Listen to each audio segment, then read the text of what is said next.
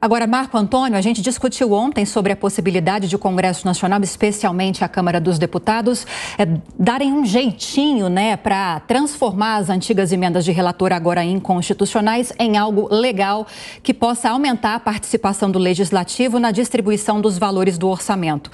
Te agradou a proposta do senador e presidente do Senado, Rodrigo Pacheco, de pegar metade do que está previsto nas antigas emendas de relator para o ano que vem e transformá-las em emendas individuais impositivas, é bom deixar claro?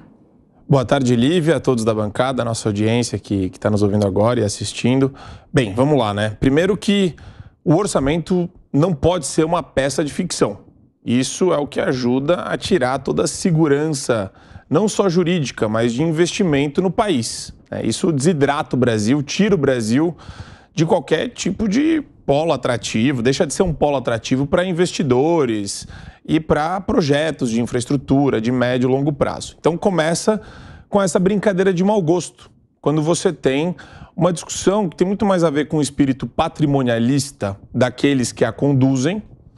Então, é, que que é, qual que é o grande problema do nosso país? Né? A pessoa se confunde com a instituição. Então, você tem o presidente do Senado, ele se confunde com o Senado. Ele, de propósito, né?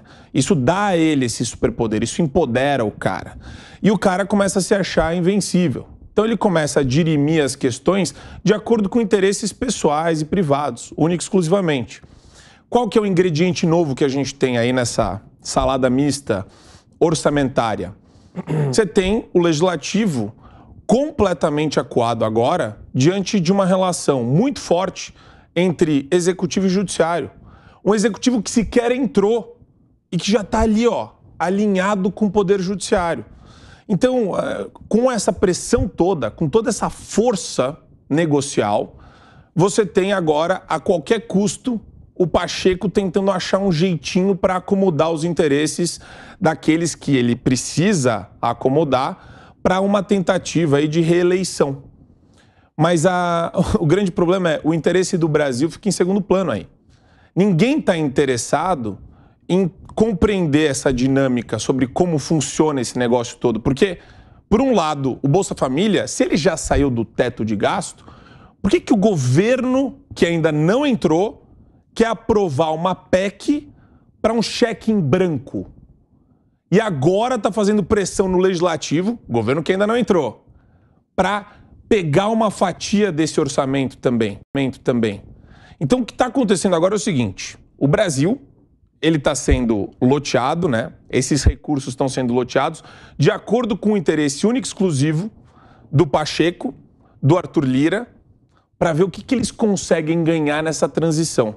Como que eles conseguem se sair bem nessa transição. Então, a rigor é isso, quer dizer, eles não estão preocupados se o valor vai ser destinado a uma obra, a uma caridade, a uma entidade filantrópica, se alguma coisa vai acontecer nesse sentido. A preocupação deles é: poxa, como que eu posso usar bilhões de reais em meu favor? Ponto. A gente vive esse drama, né? Anunciado já. Isso daí já estava anunciado.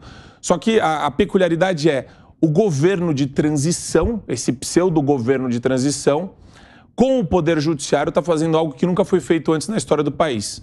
Conseguiu tirar o Auxílio Brasil, né, que eles vão mudar para a Bolsa Família do teto, e vão pegar um checão ainda dessa PEC que vai chegar. E quem vai pagar não é só o Tomé Abducho, o Serrão, você, Lívia, ou eu.